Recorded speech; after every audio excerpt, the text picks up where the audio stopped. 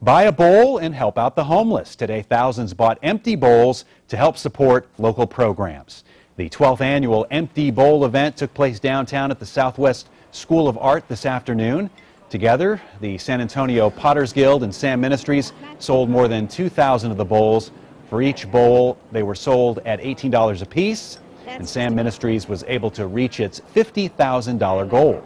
We also have these celebrity bowls, and this one was done by Jacqueline Ortiz, and it was sold today as well to help raise money for SAMMinistries. Our Elsa Ramon and Delaine Mathieu also had hand-painted bowls there. All the money raised stays right here in San Antonio.